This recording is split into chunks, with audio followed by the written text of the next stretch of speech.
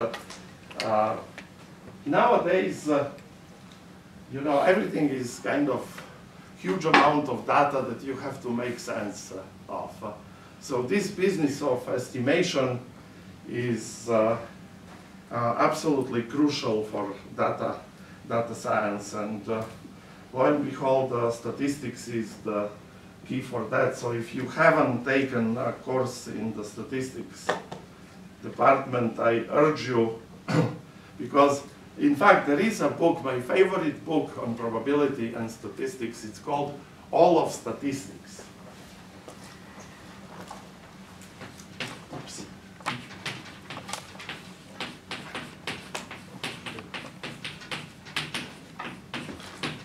And actually, preprint of this book is available. It has a few typos, but it's available for free on the web. And it's by Larry Wasserman.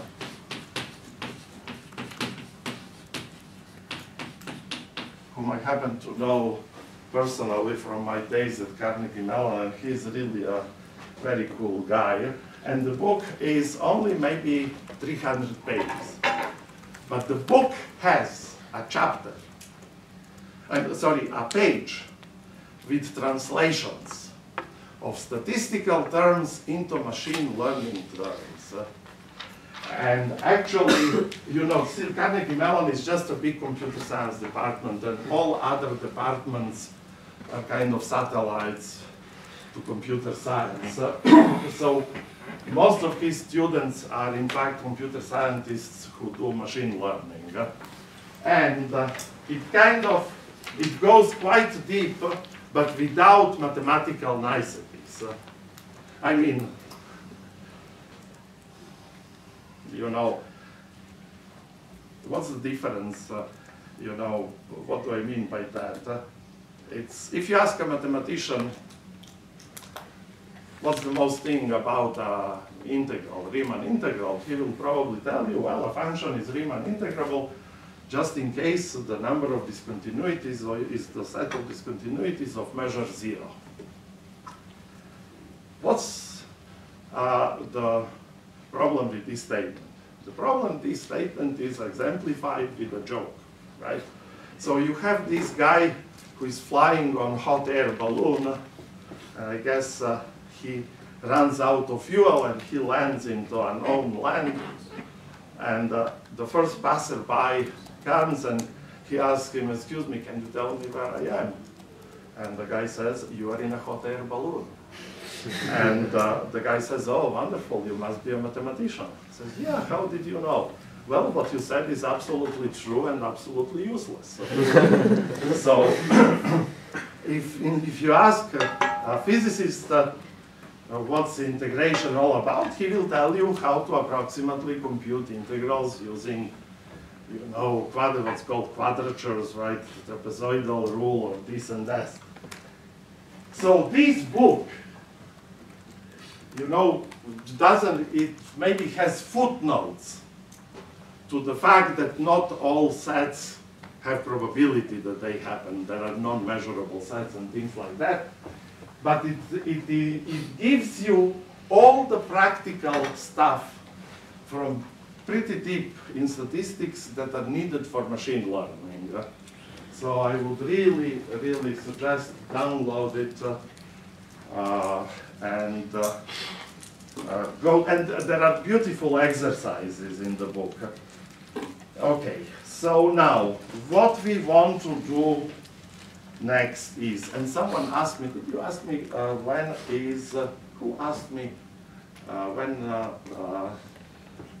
maximum likelihood uh, with the sensors whether the error has to be Gaussian distributed. Uh, someone asked me about that. I hadn't actually had a chance to look at that yet. Um, and I forgot, uh, I think it's actually pretty general. Uh, I think it's asymptotically uh, for almost all distributions. Uh, I'll check this. Okay, why is Gaussian distribution so important? Uh, for example, when you simulate noise in a circuit, uh, It's a pretty good simulation if you use uh, a random number generator that produces Gaussian estimate, Ga Gaussian, Gaussian distribution. Um, if it's a Gaussian distribution random variable. Why is that so? Central limit theorem. Central limit theorem. Who said that? Huh? Good.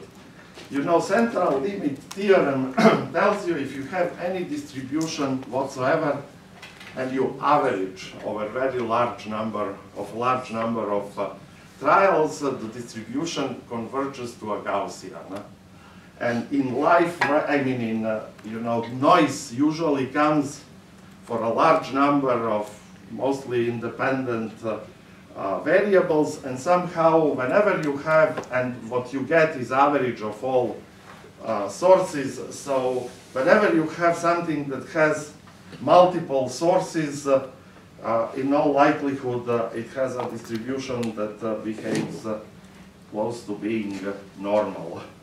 So this is why we, the, the, this is where the importance comes from. Okay, let me see what I'm supposed to.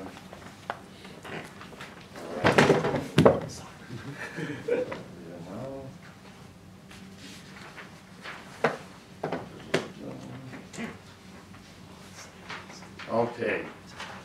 Okay, so remember now, um, um, let's assume that we have n sensors, right? So this is S1, S2, up to Sn, and they're measuring the same environmental, say, quantity. So you will have measurement M1, M2, M2, uh, well, let's call it X1 in a more conventional So you get outcomes X1, X2, up to Xn. And assume that you know the variances of each sensor. So you have variance V1, V2 up to Vn, right? And uh, we assume that the sensors are unbiased, which means that the mean reading of a sensor should be actually equal to the quantity. The, uh, the expected value of the reading of a sensor is the true quantity. It's not giving uh, systematically systematic errors. It's not overestimating or uh, underestimating.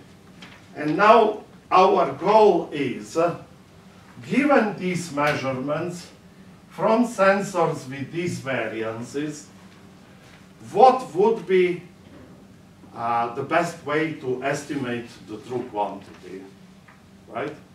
Say you have uh, n thermometers and uh, uh, you want to estimate what's the true, true temperature after having made the readings uh, of these uh, sensors. well, one approach would be um, to choose the value mu of uh, the environmental quantity for which these readings uh, with these sensors uh, are the most likely, right?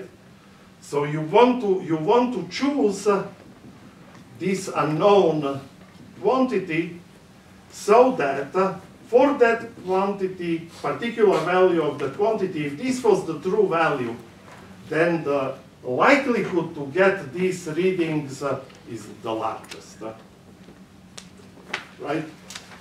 So what is then the likelihood given for a, for a, uh, if mu is the, uh, the true value, given this vector of readings uh, x, right? So this is vector x.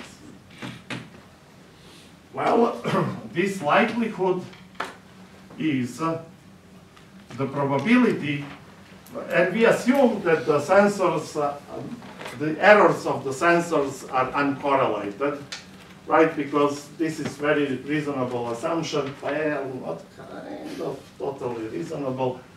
You know, if the variances of the sensors came from variance of manufacturing process, and if these sensors are not all from the same batch, then it's quite likely that the uh, the the their that the uh, the, the, the their uh, their features are uh, uncorrelated. Unfortunately, of course, if you are from the same batch and this same batch has certain offset, then all of the variances of the sensors probably would be similar.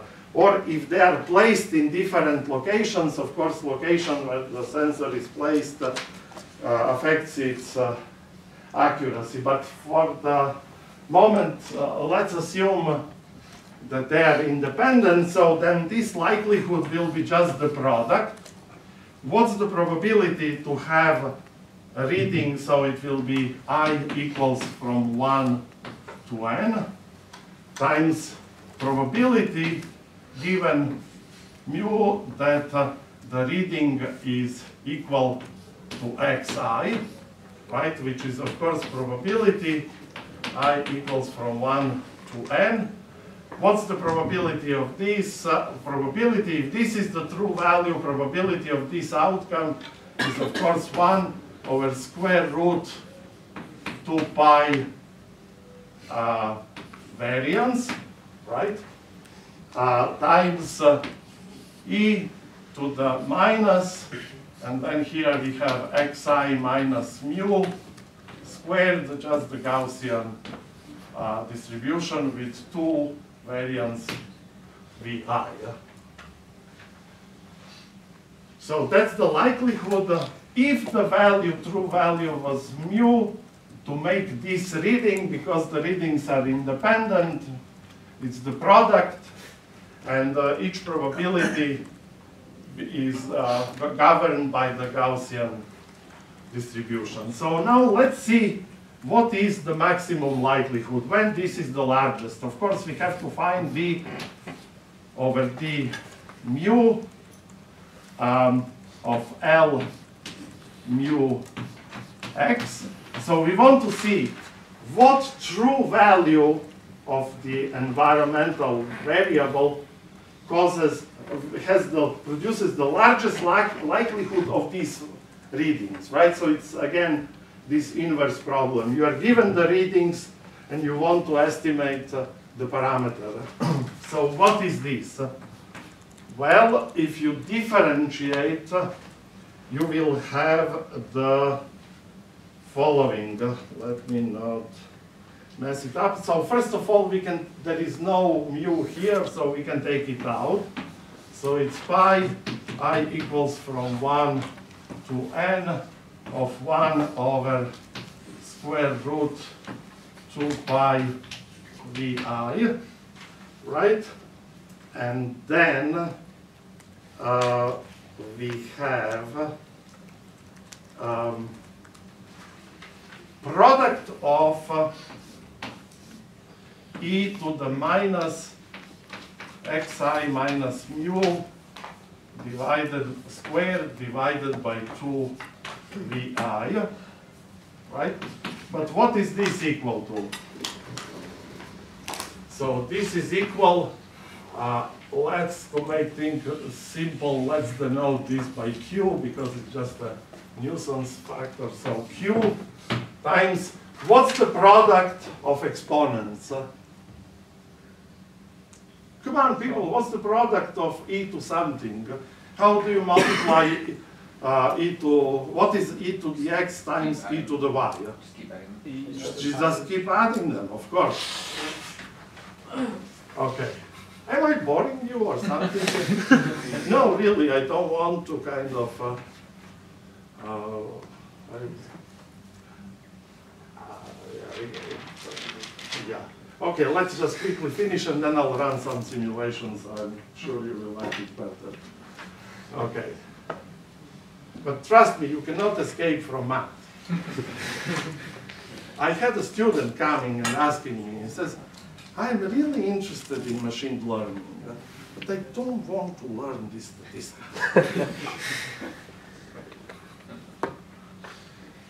Uh, or once a student comes to me and says, I don't understand dynamic programming. I said, well, what about dynamic programming you do not understand? He says, all of it. and uh, it was the textbook was, was on my desk, and I asked him, well, have you tried looking there? He looks and says, are you kidding me? so this is e to minus sum i equals from 1 to n uh, xi minus mu squared divided by 2 vi. Uh, oh, I have to put v here, the derivative of this. And this can go out because it's a constant, so we want to differentiate this with respect to the mu. So what is the derivative of e to something? Well, that's e to something, so it's q times e to minus, and then this sum xi minus mu squared divided by vi, right? Times the derivative of this, right? What is uh, the derivative of this sum? So this will be minus the derivative of the sum is sum of the derivatives. So it will be sum i equals from 1 to n 2 times xi minus mu divided by 2 vi and then times another minus because of mu here, right? Okay, very good. So let us now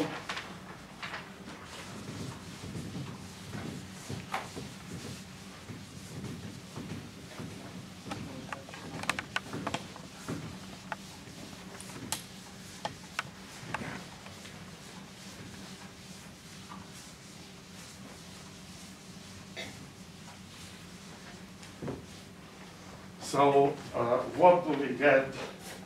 Uh, all of this is just, this can never be zero.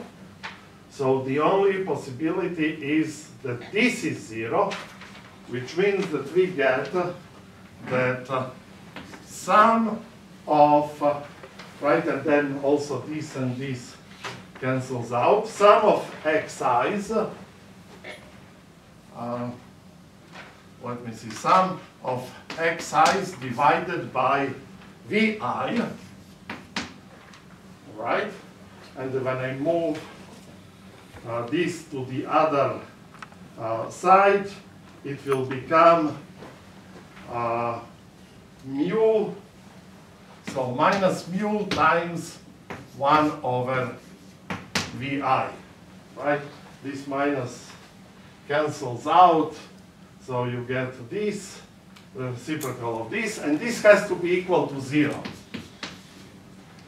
And uh, lo and behold, when you solve this, you get that mu is equal to uh, sum of xi over vi, and of course here I have sum, which I forgot, i equals from 1 to n, i equals from 1 to n, divided by sum 1 over vi.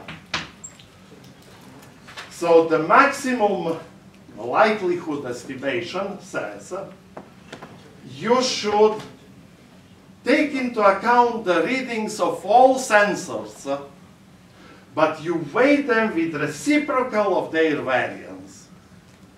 If the variance is small, the reciprocal will be large. If the variance is large, the reciprocal will be small, so no outliers uh, thrown out. You simply take into account all of the all of the readings, uh, but you weigh them with the reciprocals of the variance, and of course this is normalization so that uh, uh all the weights sum up to one, uh, right? Now, one can actually show that if uh, the sensors are unbiased, no estimator can have smaller variance than this estimator. Because the, esti the variance of this uh, estimator reaches what's called Cramer-Rao uh, lower bound, and we know that uh, there can be nothing better than this. So in this case of Gaussian errors, independent errors with given variances, this is the best possible thing that you can do. Now, the question is this.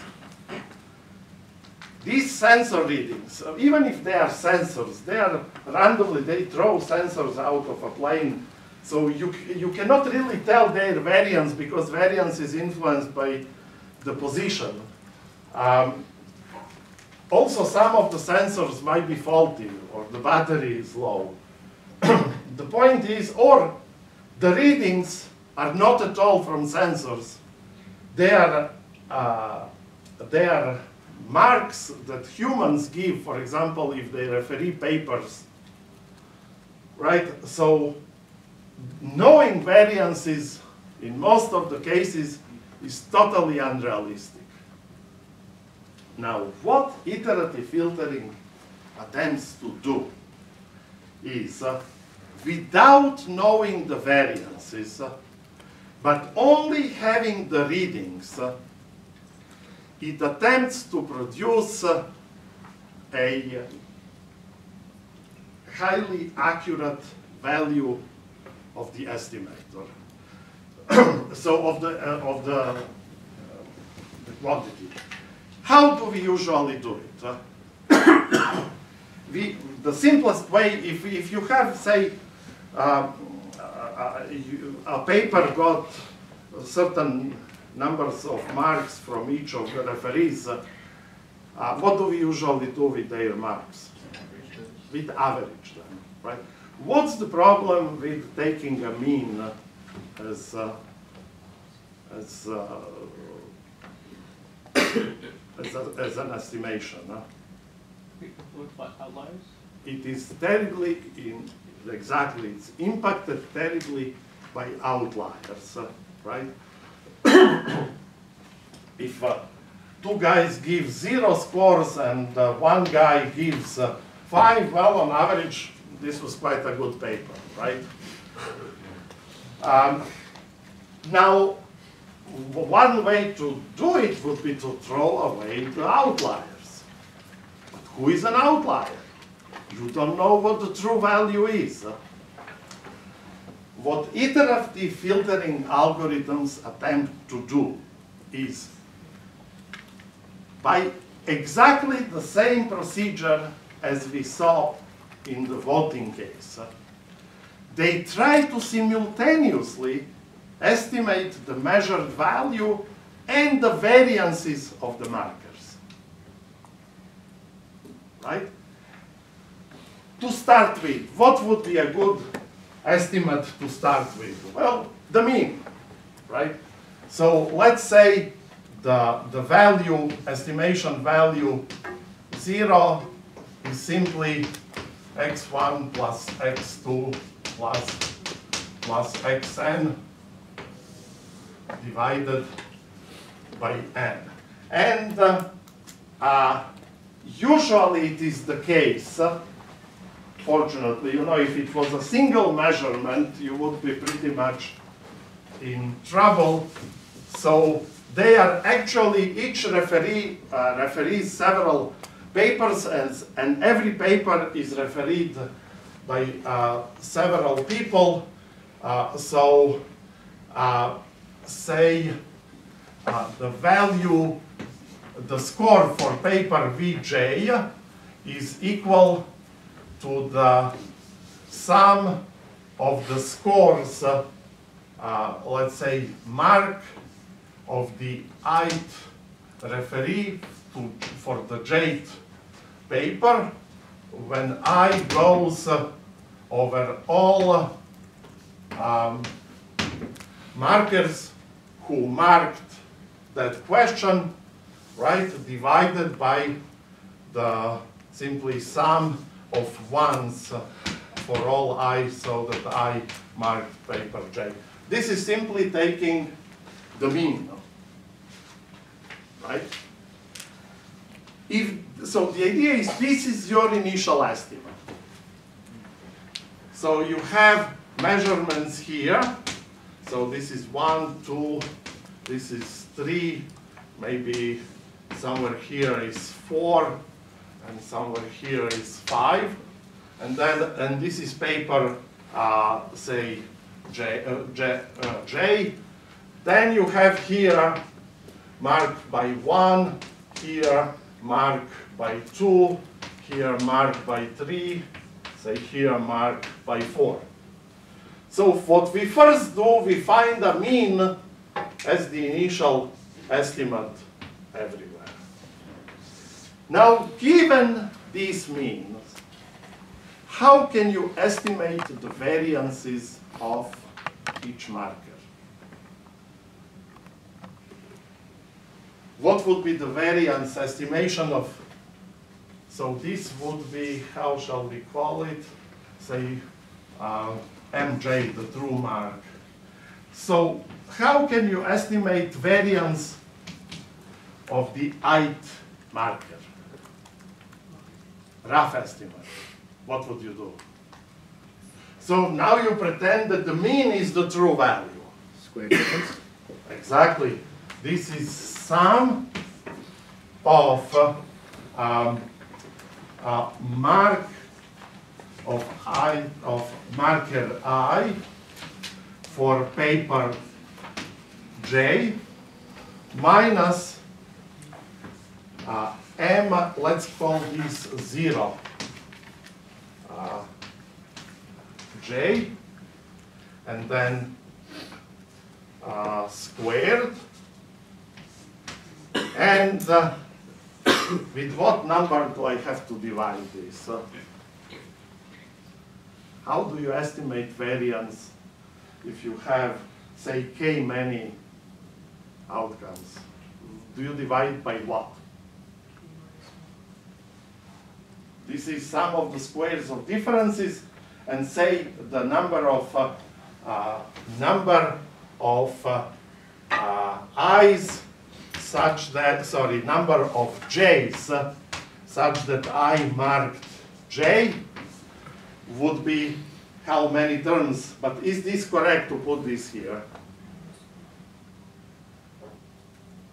In the lecture notes, you will see that you have to subtract one. Right? So why is that so?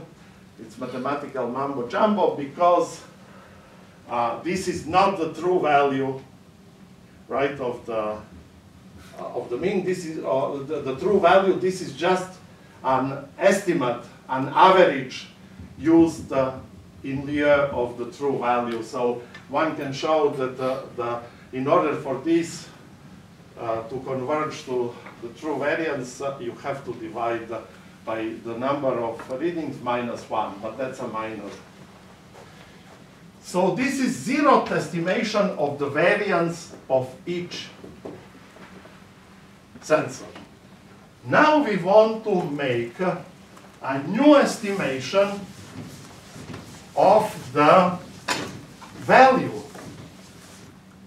Well, we know approximate variance, so we can use approximate maximum likelihood estimation. So nu mj1 will be equal to the sum of mij divided by vi0 estimate and then divided by sum of all vj 0. Right? So what did we do? First we use mean as the rough estimate of the true value. Then we make a rough estimate of the variance of each sensor. Right? Then we now, instead of giving everyone the same weight, we can give each reading approximate val of the weight that is approximately reciprocal of the variance. Now I can compute new variance Vj is exactly the same sum mi j minus mj this times 1 squared divided by the very same, uh, by the sum of the reciprocals. Now it is no longer this, but sum of the reciprocals of the variance Vj um, uh, sorry, this is sum of the reciprocal of the blah, blah, blah, blah, blah. Oh, no, no, no, this is still uh, just the very same sum or uh, just the number of j's such that i marked j minus 1 and you keep now spinning it. Uh, so it's very simple. You have sensor readings, but you don't know the variances of the sensors. Then what can you do? You give equal weight to all sensors, which amounts to simply finding the mean of the readings. Now you have a very rough idea what the value might be. So you can then estimate how far from that value each marker is. You see, if this guy, you see, if you have an outlier, he, he is likely to be far away even from the mean. So this will automatically give larger variance to the outlier and in the next round of iteration his readings uh, will be prorated accordingly. And so first you start with the mean, estimate variance. Once I have estimation of the variance, I use a, so to speak, approximate maximum likelihood estimation. I get new values. So this is a better estimation. Compute variance with this new value. Replace it again here and keep me spinning until the process converges. And lo and behold, you should get simultaneously, just like in voting, right? You have two dependent um, quantities. One was the trustworthiness of markers, which would here correspond roughly to the variance. The other are the ranks of the object, which should be here marks of the papers, right? And you start cycling. Alternating between the two until it stabilizes. It sounds very natural, but guess what? It doesn't work very well. What happens is that this guy has singularity when variance is zero. So in the process of recursion, if you ever get close to a particular readings of a particular sensor, he picks up he gets very small variance and things slam into one particular reading. Right? So, in, as you will see when we run a, a simulations next time, in most of the cases it produces almost equally good estimations as if you had true variances, the maximum likelihood estimation. But sometimes it catastrophically fails. Uh, So then people try, this is the first, uh, and it was published in uh, physics uh, letters, European physics uh, letters journal, and then um, people try to fix this by essentially trying to avoid this singularity. And so then they proposed another method, but this method, um, this method also has terrible drawbacks. Uh, and then my students proposed a method that, the, uh, that in experiments runs the best, and I was pretty sure, but I didn't bother to try to prove its convergence until Ishrak managed to break it, and uh, lo and behold. Now, what I would like to challenge you is uh, try to fix the algorithm. First, try to analyze how Ishrak uh, broke it. Uh, it might be really kind of contrived construction that in, in practice does not quite happen. Uh, and maybe the thing really converges, but it can converge very slowly. I am not sure. At the, I haven't looked at that uh, for many, many years now.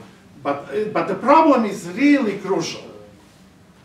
You want to aggregate the scores uh, from sources, and you have no clue how accurate the sources are.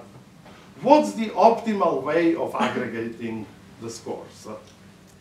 Right? So maybe market analysts uh, predict uh, the value of a stock. So that's not a discrete voting as we had before. Now it's a it's number, and you want to see what's the community of market analyst sentiment. What will be the future value? Of course, you can look at the history, what the variances of market analysts were, but they change. You know, it's unfortunately highly non-stationary uh, process, right? But this is, I would say, uh, uh, I, I, I think you would agree that it's extremely important problem, and it offers you possibility. You will see how we uh, solve this problem of singularity, and we will run the simulations next time. But here is a very nice project. Uh, um, uh, just try to improve the algorithm, and I guarantee you that's a publication in a very good journal. Okay, yeah, and of course you put me as a co-author, right? Let's have a deal straight. Okay, guys, I'll see you next week.